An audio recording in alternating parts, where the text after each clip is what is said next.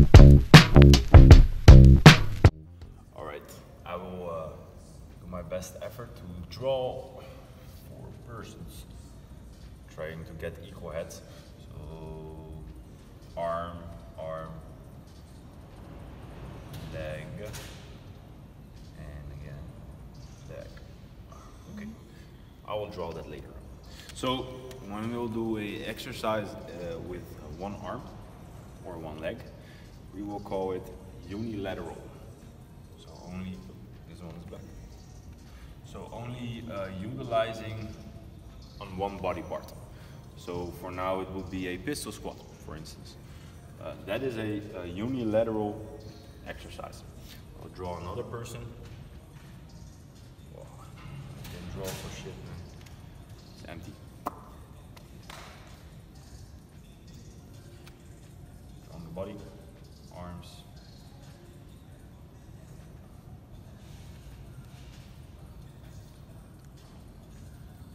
Right.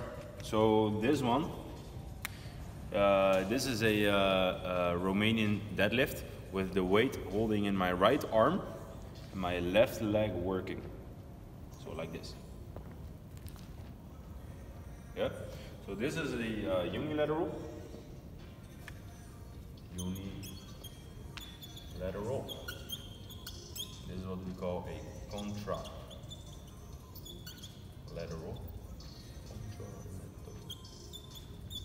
This is this is a, a, right leg or left leg. One arm. She's laughing behind the camera. That's better, right? So the the opposite sides working in a diagonal fashion. Uh, unilateral, contralateral. Then we have another person. Let's draw a belly now. Belly. This is chest. Chest the. Ja? That's Dutch for yeah right.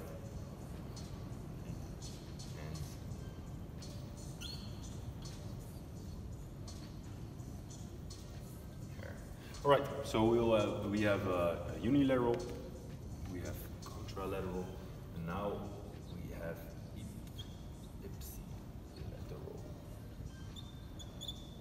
ipsilateral is uh, when I do the same side.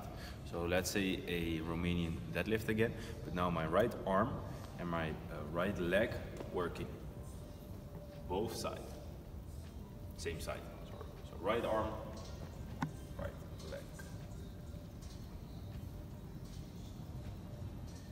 Okay?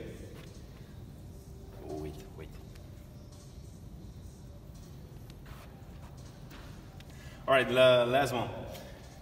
Bilateral. Belly again.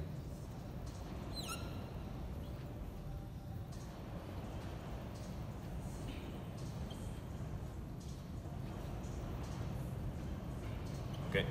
Bilateral is um, a back squat or a deadlift or a uh, ring row, a push-up, so both sides uh, working, but not like this, not in this fashion, but uh, the same extremities basically. So or the legs pushing upwards or with a push-up. So to wrap this up, we have unilateral, so a single leg or a single extremity movement. We have the contralateral, so diagonal lines, a right arm, left leg, or the left arm with the right leg. Ipsilateral, one side, right to right or left to left. And bilateral,